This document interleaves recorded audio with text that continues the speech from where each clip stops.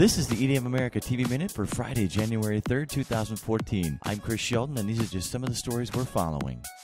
Rick Ross opens his new year with a lawsuit against LMFAO. Read about the insanity in our news section. Deadmau5 says he's through playing Miami clubs. Read the story in our news section. The father of house music in the spotlight today. Check out our conversations with greatness featuring Marshall Jefferson. Click the interviews tab on our site for the entire discussion. We've got tons of New Year's Eve sets for you on our site to listen to on demand or download. Check them out on our homepage. Armin Van Buuren's A State of Trance 646, Ferry's Fix for January 2014, and more are available for you in our radio show section. EDM America TV is now on Instagram. Find us at EDM America TV. We're getting ready for the Winter Music Conference and we'd love your vote. We're new, but we'll give it a shot. Click the link on our site to the ballot on the Winter Music Conference website and vote for EDM America TV. Under fan favorites on the ballot, there's a box next to the best music resource. Type in EDM America TV to nominate us.